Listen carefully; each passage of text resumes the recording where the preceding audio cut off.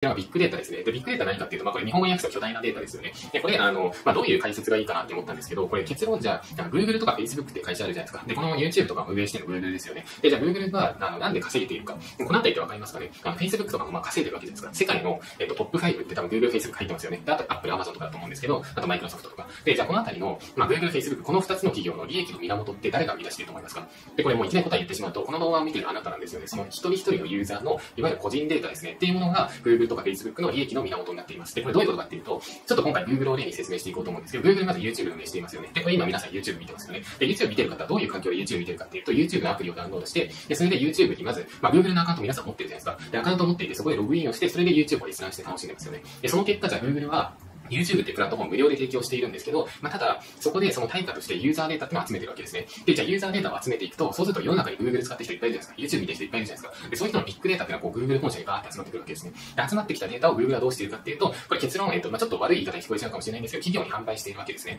要するにその、僕のチャンネルとかって、あの、いろんな企業がまあ広告を出しているわけですね。僕の YouTube チャンネルは、まあ、途中には広告挟まないようにしてるんですけど、最初見始めた時にちょっと広告流れたりするじゃないですか。で、あれは、えっと、日本の企業とかが僕のチャンネルにこう広告を出すことによって、僕の動画を見る視聴者さんに、まあ、自社製品を宣伝したいみたいな、まあ、そういうふうに考えてるわけですね。で、それで、あの、何でもかんでもなんかいろんな YouTuber に広告出して効率悪いじゃないですか。だから、えっと、Google っていうのは、例えば僕のチャンネルを見てる方っていうのは、えっと、学習意欲が高いみたいな。そしたら、えっと、教育系の広告だと、えっと、何ですか、増えやすいですよみたいな。まあ、そういうデータっていうのを企業側に渡すことによって、まあ、企業がそこで最適化して広告を出せる。で、広告出した企業っていうのは Google にお金を払うみたいな。まあ、そういう仕組みですね。だから、要するにこのビッグデータっていうものっていうのは、その一人一人個人の方っていうのが生み出しているデータで、で、それをこう Google とか Facebook がこう束ねることによって、莫大な富を築いてっていう。だからその今世の中の、まあ、富の源泉っていうのがビッグデータっていうわけですね。じゃあ今ビッグデータがあるおかげで Google とか、まあ、Facebook とかってまあ無料で使えるわけじゃないですか。で、これってすごいことですよね。例えばなんですけど、あの、YouTube とかって、あの、普通に個人で作ったりとか、個人でこういう動画を再生させるなんかサーバー環境とか整えたら、もう莫大な金がかかるんですよ。でも全部 Google が無料で提供しています。これはビッグデータをうまく活用しているからですね。で、このビッグデータ活用っていうのは今のところ IT 企業しかうまく活用できていないんですけど、今後それが他の業種にも広がっていくとどういう未来が起きるかっていう。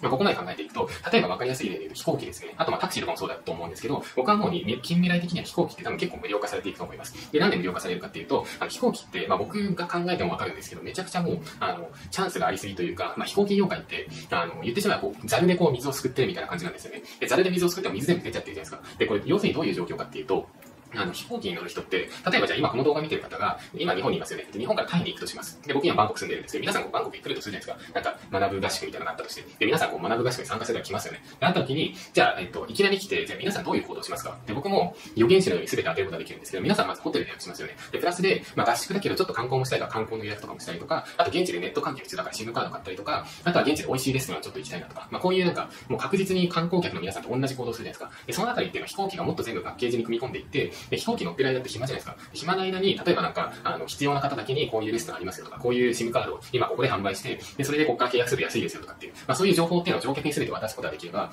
もう普通に買いますよね。あの、仮に、まあ値段がまあ一生もしくはちょっと高いぐらいだったとしても、でも飛行機降りた後にいちいち SIM カード買いに行ったりとかめんどくさかったりするじゃないですか。だったら僕だったら多分飛行機代全部買っちゃうと思うんですね。っていう感じで、あの、いわゆるそういう、